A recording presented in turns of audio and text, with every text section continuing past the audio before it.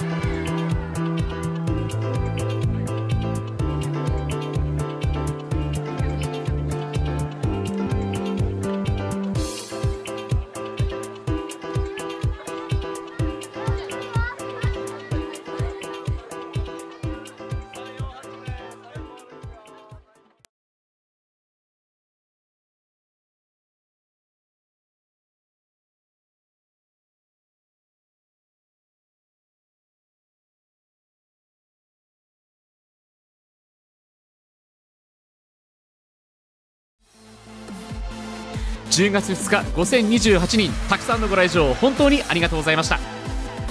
バンラール八戸試合情報。次節もダイハツスタジアムでのホームゲーム。10月23日日曜日午後1時から天皇杯ベスト16に勝ち残っているホンダ FC を迎え撃ちます。八戸市初のサッカー専用スタジアムでの2試合目。大きなビジョン観客席に伝わってくるピッチの迫力。そして待望のバンラーレゴール。そしてダイハツスタジアム初勝利。ぜひ10月23日ダイハツスタジアムにお越しください。まだまだ諦めないイグベジェイサー。